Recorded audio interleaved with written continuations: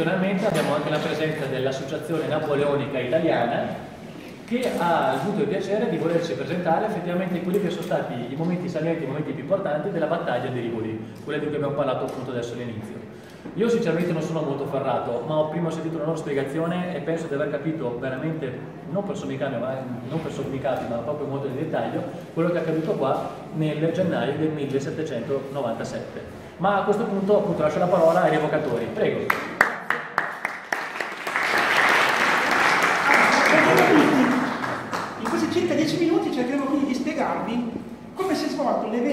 Sicuramente più importante che avuto luogo qui a Rivoli, ovvero la battaglia di Rivoli del 14 gennaio del 97. Eh, molto velocemente come si è arrivati a Rivoli? Due parole, due. Voi sapete che nel 96, quindi un poco un anno prima, Napoleone prende il comando delle forze francesi, con un'offensiva fulminea riesce a conquistare il Piemonte, la Lombardia, l'Emilia, contro piemontesi e eh, austriaci e arriva finalmente a Mantova.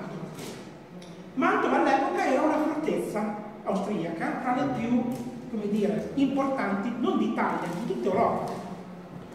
A Mantova era una fortissima guarnigione austriaca. Napoleone non può permettersi di andare oltre Mantova, perché il suo esercito è troppo limitato, a circa 35.000 soldati, non può lasciarsi alle spalle 20.000 austriaci. E quindi era costretto ad assediare Mantova dal giugno del 96 fino appunto a Rivoli, tutta la guerra si gioca da un lato per la parte francese a conquistare Mantova, dall'altra per la parte austriaca a soccorrere Mantova, cercando di liberarla. Gli austriaci in questo loro tentativo spendono tutti i mesi da, da agosto fino al tardo novembre. Per bene due volte, con due pesanti offensive, gli austriaci cercano di andare avanti e entrambe le volte Napoleone in qualche maniera riesce a sconfiggere. Sconfigge prima ad agosto a Castello delle la seconda volta ad Arcole nel novembre. Finalmente arriviamo a gennaio. A gennaio Mantova sta per cadere, arrivano a Vienna dei messaggi allarmanti. Imperatore non ho più niente da mangiare, fai qualcosa, muovi l'esercito. Ma siamo a gennaio. Ugualmente l'imperatore impartisce l'ordine di attacco L'ordine arriva a Dixi, mandato in capo l'austriaco in Italia, il 5 di gennaio. Nel giro di due giorni, due o tre giorni, viene elaborato il piano di attacco austriaco, che è quello che vi ho presentato. È un piano molto complesso, nel senso che prevede eh, il movimento di tre masse di soldati contemporaneamente. Le tre masse sono la prima, la Padova, circa 10.000 uomini, doveva marciare lungo Montagnana, Legnano, prendere la Mantova, una seconda colonna da Vicenza, circa 6.000 uomini, poco più, doveva andare contro Verona, non già per conquistarla, quanto per disturbare, diciamo così, i francesi, metterli in difficoltà dal punto di vista della individuazione invece di quella che era l'armata principale, che era quella rossa, che da Bassano doveva arrivare fino a Trento e quindi scendere lungo la Val d'Adige per arrivare a Rivoli e da Rivoli verso Mantova. Guardate che nel piano austriaco a Rivoli non si dà combattere. Rivoli era una tappa. La grande battaglia doveva essere invece nella zona fra Villa Franca e Ossoborgia a sud di Verona. Guarda caso dove il terreno è più favorevole alle armate austriache, che, che hanno un numero di soldati nettamente superiore e anche di cavalleria. Quindi se io posso spiegare questo ammasso di truppe in uno spazio più ampio, è ovviamente un mio vantaggio. Questo è quello che pensano gli austriaci, ma in realtà non è quello che Napoleone ha pensato. Napoleone infatti ha capito perfettamente che il settore di Rivoli è perfettamente adatto ad un'ottima difesa, perché ha alcune, come dire, caratteristiche fisiche molto favorevoli. Primo, la presenza del fiume Adige che delimita il campo. Quindi la mia ala destra è protetta. Secondo, la presenza delle colline del Travasore, che in qualche modo proteggono anche la mia sinistra. Ma la cosa principale è che un'armata che parte da nord per arrivare a sud e vuole arrivare a Rivoli ha solo due strade. La prima è quella verde che si snoda lungo il Monte Valdo, ma è una strada un po' più che un sentiero, che siamo in inverno. La seconda strada è quella di Fondovalle, attuale strada statale, fondamentalmente che porta fino a Rovereto. È quella che porta a Canale, con le famose curve in salita, no? Data queste strade, è evidente che tanti uomini, come hanno industrie, vanno come dire, a imbottigliarsi su due sue strade. Su questa in particolare, quella verde, gli austriaci non possono portare né cannoni né cavalleria. Quindi chi scende dalle montagne, dopo tre giorni di camminate e combattimenti, non ha neanche il supporto di un cannone o di cavaliere. La battaglia inizia alle 4 di mattina del 14 di gennaio. E inizia perché Napoleone ha, come dire, una intuizione. Capisce che per difendere lo snodo di Zuanosteria, cioè il punto di incrocio de, de, delle due strade, deve essere lui a attaccare per primo, in modo da guadagnare spazio ok? Per poi fare una difesa sul lungo tempo e quindi dare modo rinforzi che provengono da Affi o meglio da Peschiera e da Verona di arrivare. Se Napoleone non avesse attaccato prima e si fosse limitato a difendere questa zona, è evidente che al primo scacco ricevuto perdeva l'incrocio. Un attacco preventivo quindi allo scopo di guadagnare terreno e sorprendere gli austriaci che non si aspettano un attacco alle 5 di mattina.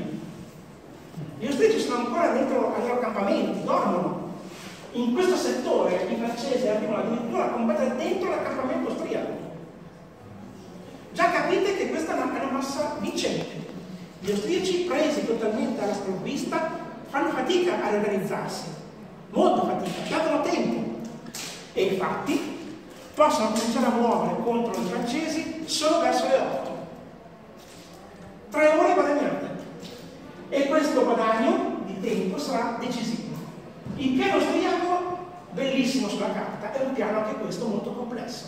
Si parla di sei colonne, di cui quattro in ambito montano, due in fondo valle.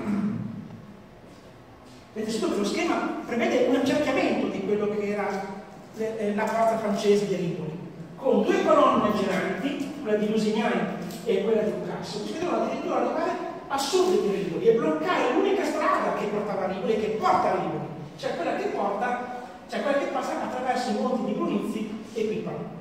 Le altre quattro colonne invece, Lipsen, Oxford e Coblos, però avessero come obiettivo famoso crocevia delle Zuane.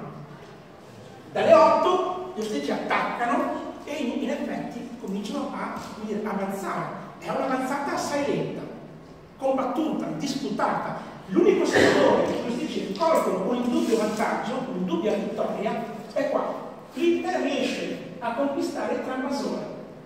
E qui, primo snodo della battaglia.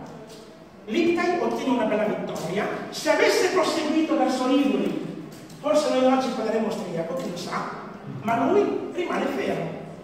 Perché?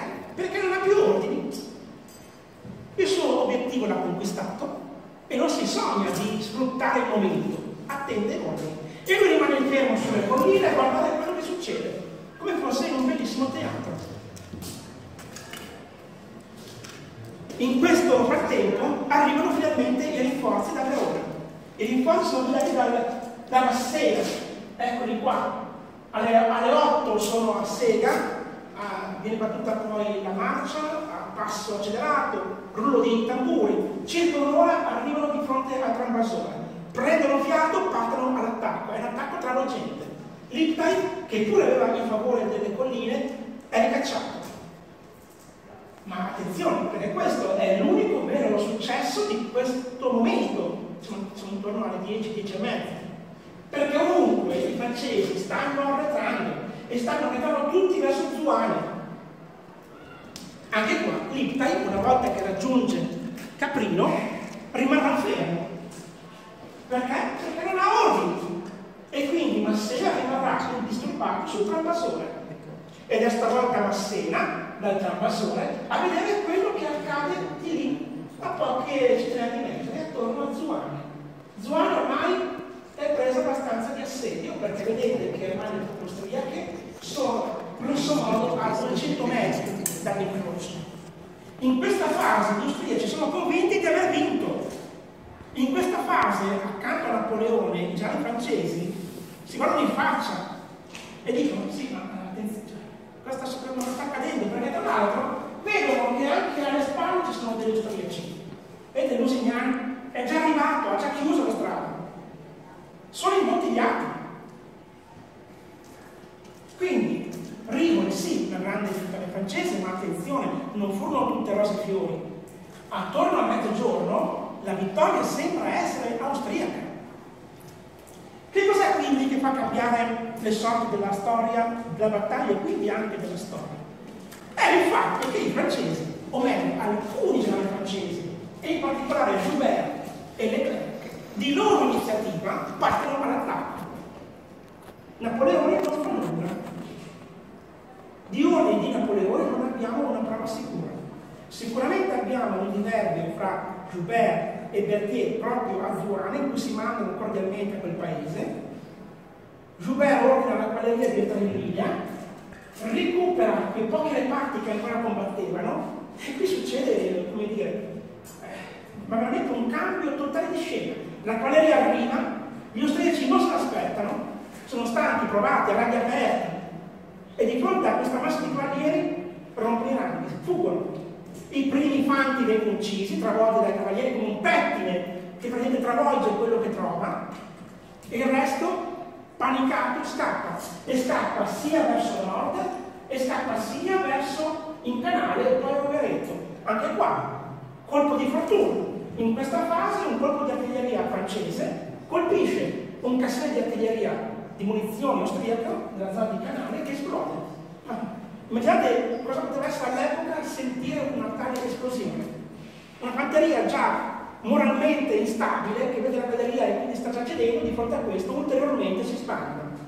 Una sconfitta nel giro di circa 20 minuti si è tramuta in una grandissima vittoria, perché adesso tutti questi austriaci non sono altro che dei fanti che corrono verso nord. E in questa fase Massena, che tanto vede l'Italia totalmente immobile, che cosa fa? Scende dalle colline e intercetta. Ne fa circa 2000 solo in questa fase di prigionieri. Intanto Lusignan, che poteva fare anche lui qualcosa, rimane fermo anche lui, perché è senza ordine. Il suo obiettivo era arrivare su queste colline. Se avesse avanzato prima, chissà. Vedete le costanti della storia, no? Ultimo atto, l'ultimo atto è proprio l'annientamento della colonna Lusignan che era arrivata e posizionata sulle alture. Napoleone li concentra contro delle truppe prese dal centro e una, una ulteriore colonna di rinforzo che arrivava da Africa Orsa. Praticamente da forza accerchiante diventano accerchiati. E infatti di questa colonna, forte di circa 4.500 uomini, solo 200 si salveranno. Tutti gli altri saranno prigionieri, feriti o morti. Perdite. Dicevo prima Rivoli, Rivoli grande vittoria, ma anche una grande vittoria in termini proprio di, come dire, umani, di perdite umane.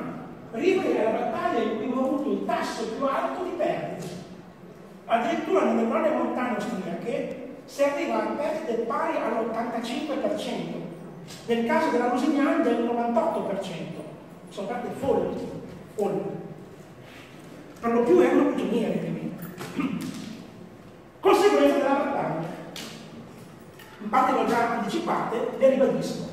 Prima conseguenza, Napoleone annienta l'armata da campo austriaca. Dopo Rivoli, fondamentalmente gli austriaci in Italia non hanno più un'armata, hanno un insieme di battaglioni demoralizzati. Seconda conseguenza, cade Mantova. Mantova, che non ha più la possibilità di ricevere aiuti, si arrende, viene presa per fame e si arrenderà il 2 febbraio libero ora da Mantova e senza più avere un'armata nemica, Napoleone può marciare verso Vienna. Una marcia che, che sarà trionfale, inizierà fra la fine di febbraio e l'inizio di marzo, si concluderà una cinquantina di chilometri a sud di Vienna, quando il Kaiser manderà un, un emissario chiedere la pace. Napoleone in questo modo diventa il generale della pace, perché è colui che è riuscito ad obbligare il Kaiser a sedersi un tavolo e firmare una pace. Ed erano cinque anni che la Francia era in guerra. Quindi il paradosso, se vogliamo, è che Napoleone diventa già della pace per i francesi. Io con questo mi fermerei, Francesco.